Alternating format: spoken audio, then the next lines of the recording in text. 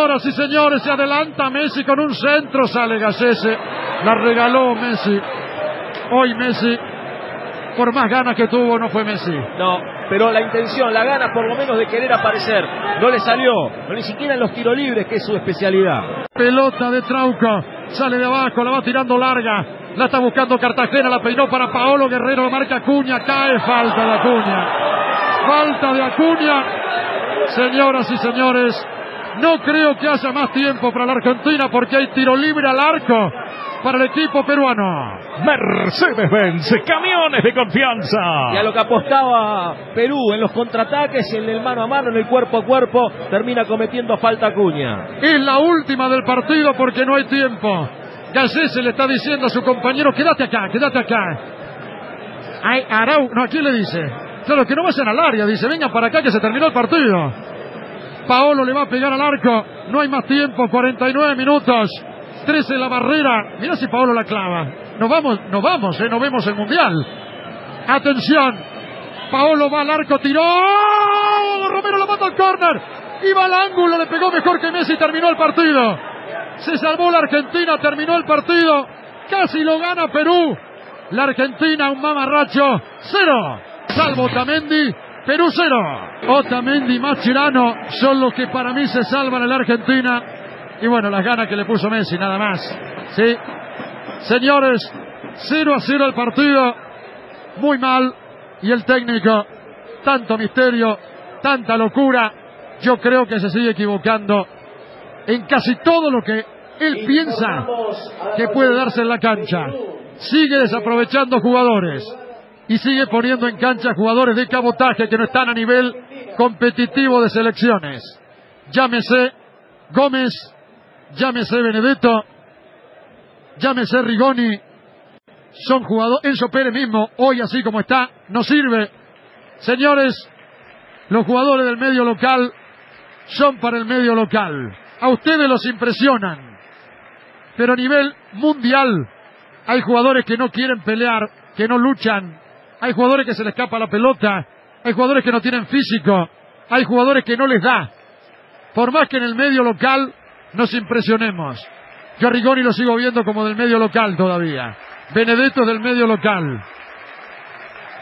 Gómez juega en Atalanta, en Italia. Para el técnico, que además los cambia de lugar, son todos titulares. Mañana a las 5 de la tarde hablaré.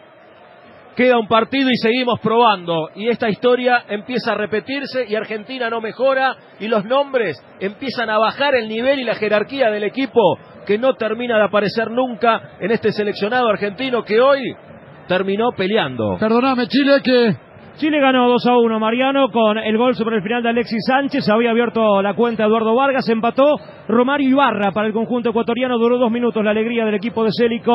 Aparecen los nombres que tienen que aparecer en los momentos determinantes. En Chile ganó el conjunto de Pizzi 2 a 1. Argentina fuera del Mundial Sí, y sí. Paraguay a un punto de Argentina ahora. Sí, señor, así, así es. Creo que es la primera vez que ocurre, ¿eh? que termina la fecha y falta una y Argentina está fuera del Mundial. Bueno, la verdad que es una noche vergonzosa de fútbol con un técnico que todo lo que intenta hacer es para un club, no para partidos de 90 minutos como Uruguay, de 90 minutos como Venezuela, de 90 minutos como Perú. La verdad, hoy la Argentina no le ganó a un buen equipo, ¿eh?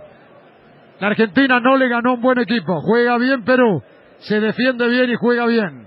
No atacó, no atacó mucho, casi nada. Porque Otamendi y Mascherano estuvieron muy bien, sobre todo Otamendi.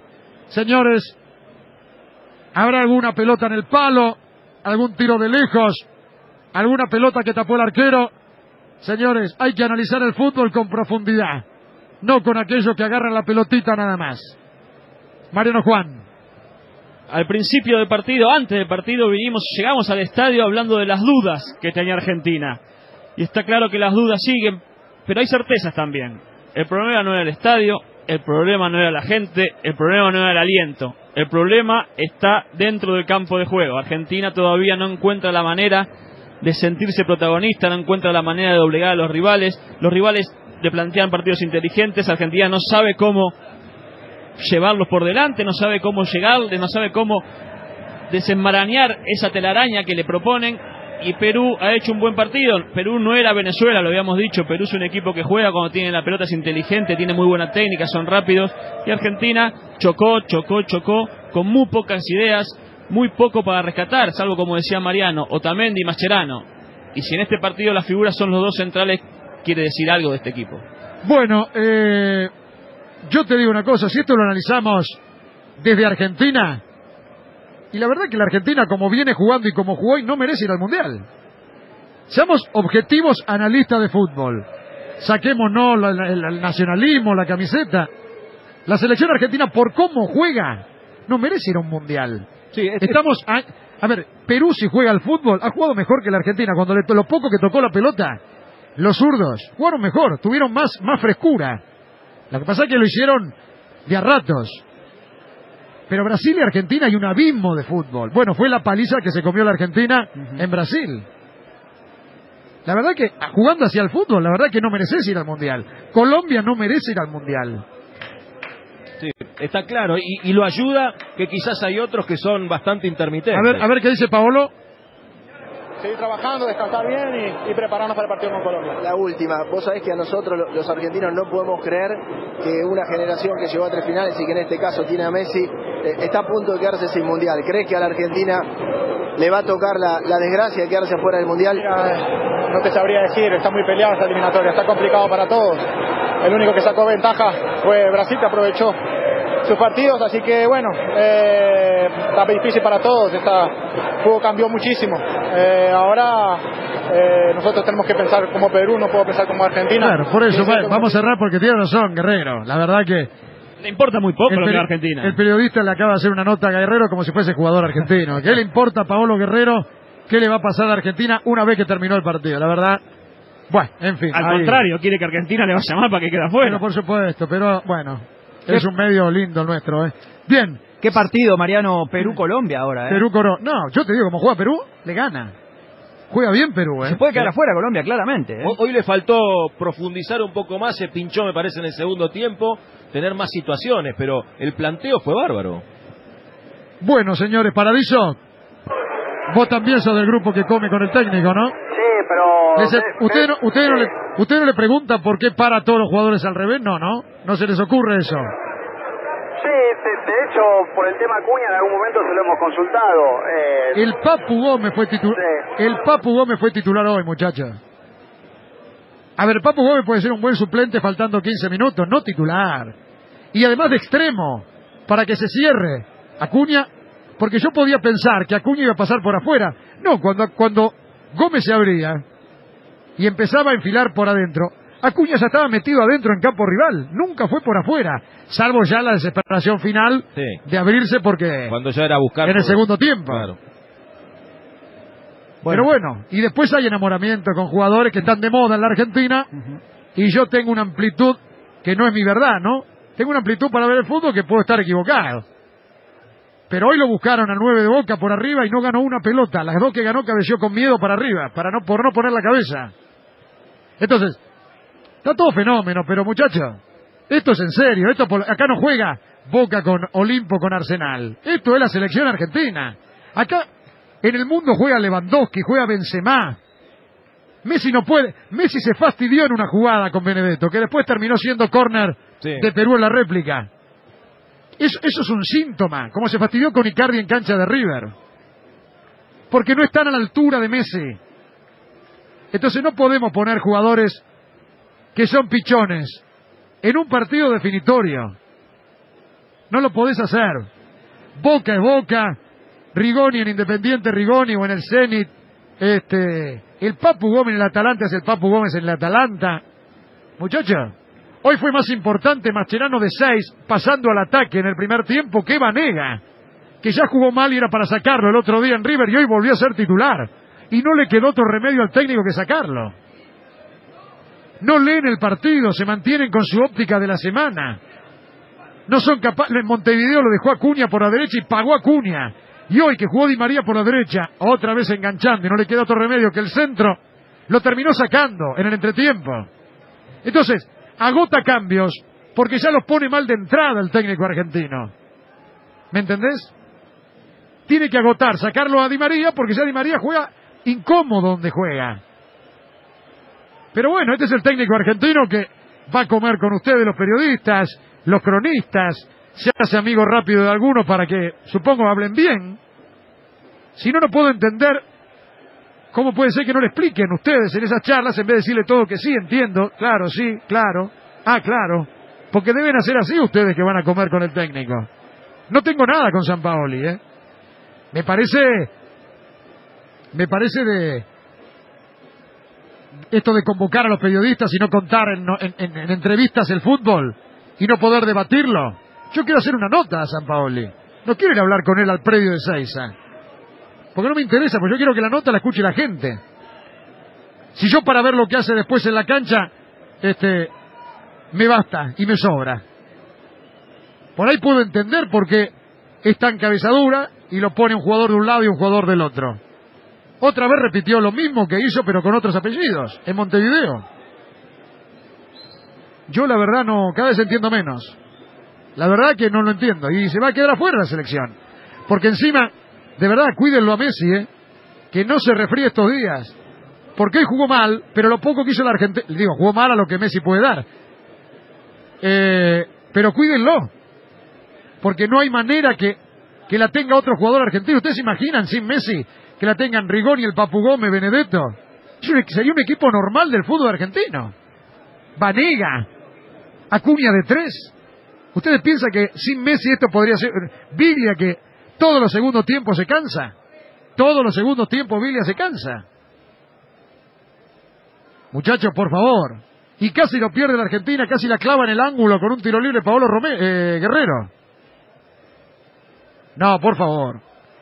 Realmente estoy sorprendido para mal. El técnico, tanto misterio, tanta locura, yo creo que se sigue equivocando en casi todo lo que él piensa que puede darse en la cancha.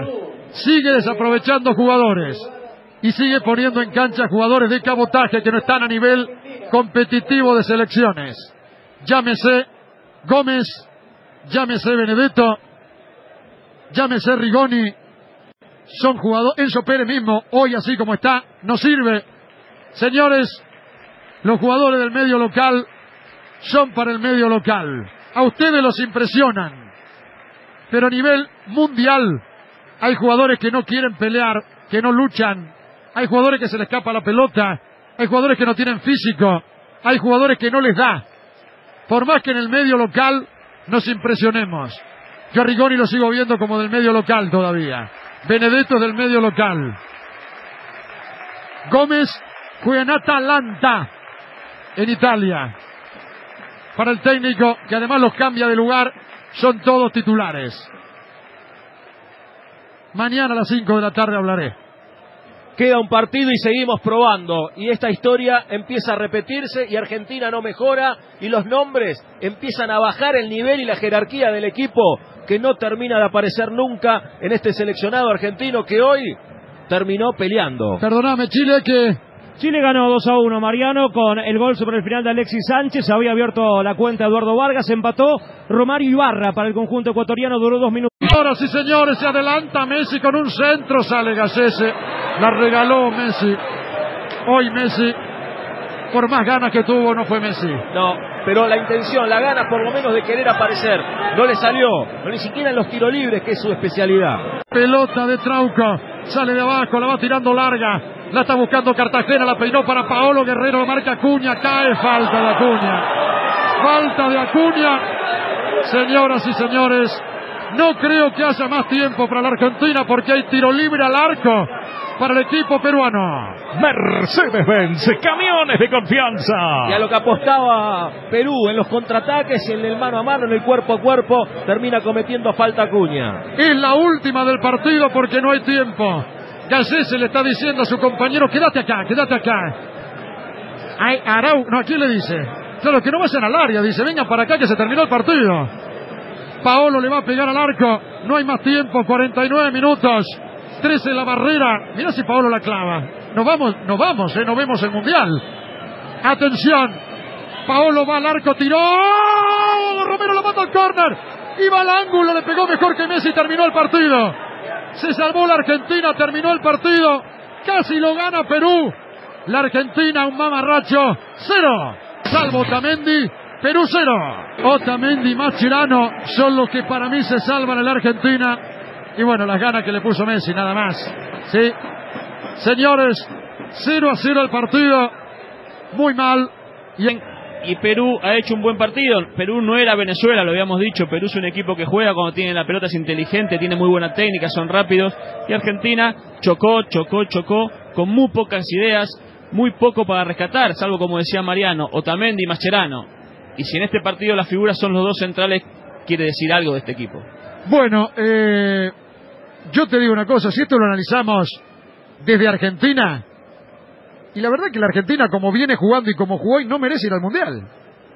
Seamos objetivos analistas de fútbol. Saquemos no el nacionalismo, la camiseta. La selección argentina, por cómo juega, no merece ir a un Mundial. Sí, Estamos. A, a, ver, Perú, si juega al fútbol, ha jugado mejor que la Argentina. Cuando le, lo poco que tocó la pelota, los zurdos jugaron mejor, tuvieron más, más frescura. Lo que pasa es que lo hicieron de a ratos. Pero Brasil y Argentina hay un abismo de fútbol. Bueno, fue la paliza que se comió la Argentina en Brasil. La verdad que jugando hacia el fútbol, la verdad que no mereces ir al Mundial. Colombia no merece ir al Mundial. Sí, está claro. Y, y, lo ayuda que quizás hay otros que son bastante intermitentes. A ver, a ver qué dice Paolo seguir trabajando, descansar bien y, y, prepararnos para el partido con Colombia. La última, vos sabés que a nosotros los argentinos no podemos creer que una generación que llegó a tres finales y que en este caso tiene a Messi está a punto de quedarse sin mundial. ¿Crees que a la Argentina le va a tocar la, la desgracia de quedarse fuera del mundial? Mira, eh, no te sabría decir, está muy peleada esta eliminatoria, está complicado para todos. El único que sacó ventaja fue Brasil, que aprovechó sus partidos, así que bueno, eh, está difícil para todos, esta juego cambió muchísimo. Eh, ahora eh, nosotros tenemos que pensar como Perú, no puedo pensar como Argentina. Claro, por eso vamos a cerrar porque tiene razón Guerrero, la verdad que le importa muy poco lo que Argentina. El periodista le acaba de hacer una nota a Guerrero como si fuese jugador argentino. ¿Qué le importa a Paolo Guerrero? ¿Qué le va a pasar a Argentina una vez que terminó el partido? La verdad, bueno, en fin. Al ahí. contrario, quiere que Argentina le vaya mal para que quede afuera. Bueno, por supuesto, pero bueno, es un medio lindo el nuestro, ¿eh? Bien. ¿Qué partido, Mariano? Perú-Colombia ahora, ¿eh? Perú-Colombia. No, yo te digo, como juega Perú, le gana. Juega bien Perú, ¿eh? Se puede quedar afuera Colombia, claramente. ¿eh? Hoy le faltó profundizar un poco más, se pinchó, me parece, en el segundo tiempo, tener más situaciones, pero el planteo fue bárbaro. Bueno, señores, Paradiso, vos también sos del grupo que come con el técnico, ¿no? Sí, pero... Ese, usted, no, usted, no le, ¿Usted no le pregunta por qué para a todos los jugadores al revés? No, ¿no? No se les ocurre eso. Sí, hecho, por el tema Cuña en algún momento se lo hemos consultado. Eh... El Papu Gómez fue titular. Sí. El Papu Gómez fue titular hoy, muchacha. A ver, Papu Gómez puede ser un buen suplente faltando 15 minutos, no titular. Y además de extremo, para que se cierre. Acuña, porque yo podía pensar que Acuña iba a pasar por afuera. No, cuando, cuando Gómez se abría y empezaba a enfilar por adentro, Acuña ya estaba metido adentro en campo rival, nunca fue por afuera, salvo ya la desesperación final sí. de abrirse porque cuando ya era buscar en el segundo tiempo. Claro. Bueno. Pero bueno, y después hay enamoramiento con jugadores que están de moto. La alegría del equipo de Célico. Aparecen los nombres que tienen que aparecer en los momentos determinantes. En Chile ganó el conjunto de Pizzi 2 a 1. Argentina fuera del Mundial sí, y sí. Paraguay a un punto de Argentina ahora. Sí, señor. Así, así es. Creo que es la primera vez que ocurre, ¿eh? que termina la fecha y falta una y Argentina está fuera del Mundial. Bueno, la verdad que es una noche vergonzosa de fútbol con un técnico que todo lo que intenta hacer es para un club, no para partidos de 90 minutos como Uruguay, de 90 minutos como Venezuela, de 90 minutos como Perú. La verdad, hoy la Argentina no le ganó a un buen equipo, ¿eh? La Argentina no le ganó a un buen equipo. Juega bien Perú, se defiende bien y juega bien. No atacó, no atacó mucho, casi nada. Porque Otamendi y Mascherano estuvieron muy bien, sobre todo Otamendi. Señores, habrá alguna pelota en el palo, algún tiro de lejos, alguna pelota que tapó el arquero. Señores, hay que analizar el fútbol con profundidad, no con aquellos que agarran la pelotita nada más. Mariano Juan. Al principio del partido, antes del partido, vinimos, llegamos al estadio hablando de las dudas que tenía Argentina. Y está claro que las dudas siguen, pero hay certezas también. El problema no era el estadio, el problema no era la gente, el problema no era el aliento. El problema está dentro del campo de juego. Argentina todavía no encuentra la manera de sentirse protagonista, no encuentra la manera de doblegar a los rivales. Los rivales le plantean partidos inteligentes. Argentina no sabe cómo llevarlos por delante, no sabe cómo llegarle, no sabe cómo desenmarañar esa telaraña que le propone.